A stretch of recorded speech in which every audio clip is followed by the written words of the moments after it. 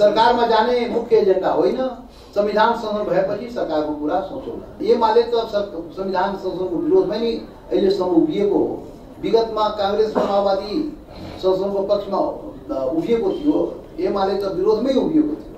त एमाले पहिले आफ्नो धारणा प्रष्ट रूपमा ल्याउनु पर्यो संविधान संशोधन गर्नु पर्यो अनि त्यसपछि सरकारको कुरा पछि गरौँला अहिले सरकारको कुरा गर्न जरुरी छैन। केही भूमिका खेल्दैन? संविधान संशोधन पहिले घुम्नु पर्यो गर्नु पर्यो। अनि मात्रै केही कुरा हुन्छ। सरकार बनाउने यो गोटीको रूपमा मधेसवादी प्रयोग हुँदैन। हामी आफ्नो एजेन्डालाई अगाडि सार्छौँ। त्यसमा को को सहमत हुन्छ त्यसपछि हामी उनीहरू कुरामा कहाँसम्म सहमत हुन सक्छ त्यो गरौँला। संविधान संशोधनको पक्षमा उभियो भने हामी पनि पक्षमा पक्षमा उभिनुको मतलब सरकारैमा जानु जरुरी छैन। भित्र बाहिरबाट समर्थन यताबाट पनि हुन असम्भव छैन। छवटा पार्टी एकता भएको सातौँ पार्टी एकता किन हुन सक्दैन?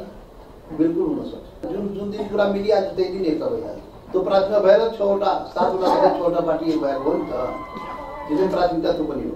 मधेसी गठबन्धनको राजपा नेपाल र फरम नेपालको जुन गठबन्धन हो त्यसको प्रदेश नम्बर दुईमा सरकार बन्छ। मुख्यमन्त्रीको भन्छ मुख्यमन्त्री समझदारीको आधारमा बन्छ।